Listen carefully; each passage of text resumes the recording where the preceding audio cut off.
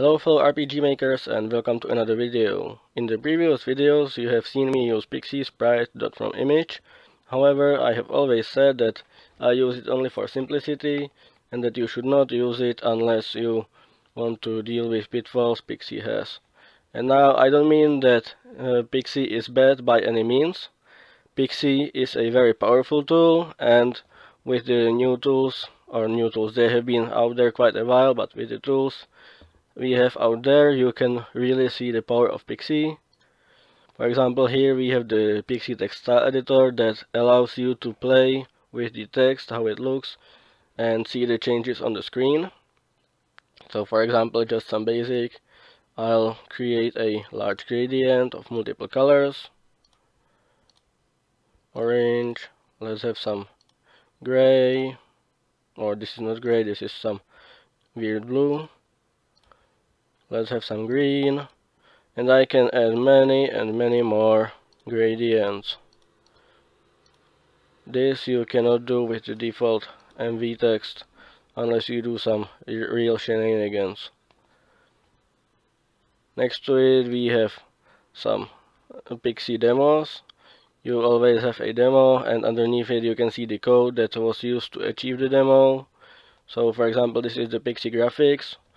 However as you have seen in my PIXI DIY series demo if you have seen, uh, demo tutorial if you have seen it.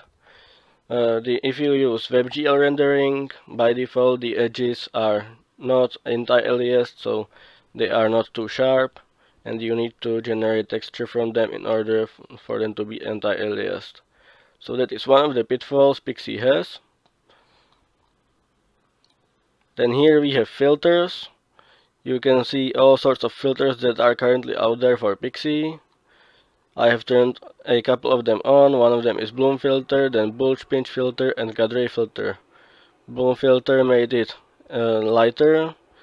Godray filter is this sunshine that normally is yellow, but this this uh, filter combination turned it, turned it blue.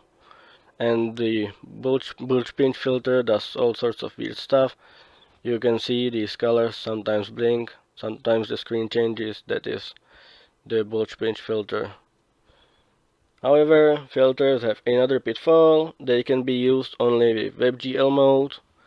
So that means you should go here go to plugin manager and in community basic rendering mode sets to canvas uh, not canvas WebGL because if the device is not compatible with WebGL mode, it won't render the filters properly, and as such, it would it would lose kind of an importance.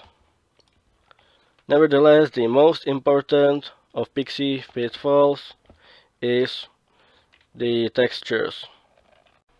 Now by textures I don't mean the actual textures but rather the texture storage because even though JavaScript is garbage collected. This garbage collection uh, involves only dangling pointers and empty references.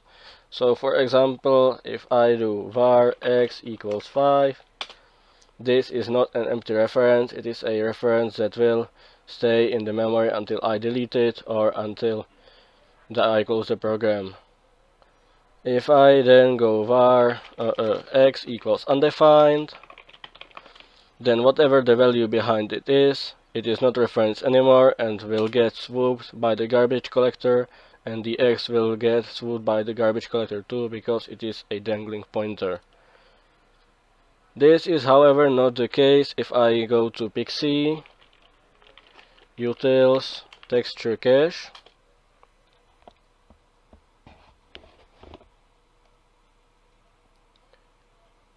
as you can see there is an entry and if I go new uh, PIXI sprite from image and read the texture cache. Again I can see there is a new entry and even if I wait a couple of seconds nothing happens. The sprite, since it had no reference, will get swooped from the memory but the texture stays there because it has the reference here. And that is very important to note because if you have textures of size I don't know 3 megabytes one texture is okay a hundred that's a problem. But having a thousand of them in the memory is impossible, the game would crash. Now, even though PIXI itself has garbage collectors, they are stored inside graphics, renderer, in other words in the renderer, and even though the renderer is running, which we can find if we go to texture GC, we can see the mode 0, and in PIXI GC modes we can see that 0 means auto. If we take a look inside the uh, the documentation now this is a documentation for PIXI 5 but for PIXI 4 it is not too different it is just syntactic sugar if I say it simply we can see that the garbage collection only involves GPU but the memory itself has to be cleared manually. And by cleared I really mean cleared because not only we have the textures case there where they stay but also if I go new PIXI text and go check the, the, the texture cache I have a new entry even if I go PIXI graphics that will add a new entry to the texture cache. So I really need to take care of the texture cache if I want to have the memory consumption low. So this is something you need to take care of and you take care of by uh, you take care of it by taking the texture utils texture cache. You use for example this destroy. And if I go back to the texture cache again as you can see the entry has disappeared from the texture cache. Now in case you have vartex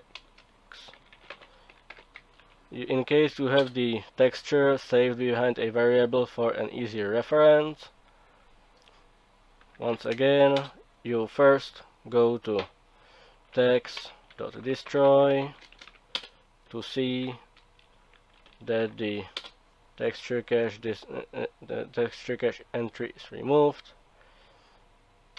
And by the way if you want to destroy the base texture cache because we don't have just textures but we have also base textures you will need to go destroy true from the textures. From the sprite you go true for texture and true for base texture and then true for children. But anyway after you destroy the texture if we go text we can see the base texture is null. In other words the texture is destroyed. So then we can just go the not delete text but text equals undefined. And now text is text is dangling pointer and this is an empty reference. It will get swooped by the memory by the garbage collector. So another pitfall I will cover is if you use PIXI sprite from image. This is not recommended to use because you need time to load the texture. Because if you add it to the uh, to the scene without giving it time to load it would just create a small or not small a black rectangle of the size of the texture. On the other hand if you use PIXI uh, new PIXI sprite texture it will wait until the texture is properly loaded and only after that it will display the texture. Either way unless you wait until the texture is loaded in any of the two cases you will not display the sprite properly so this is why preloading is very important to give it time to preload so that would be it for this video and if you have any questions feel free to leave them in the comments. I'll see you in the next video. The next video will be about battles because currently the most requests I have received are about battles so even though I did not plan it initially I will take a look at the battles and I'll return here to the maps someday. So take care.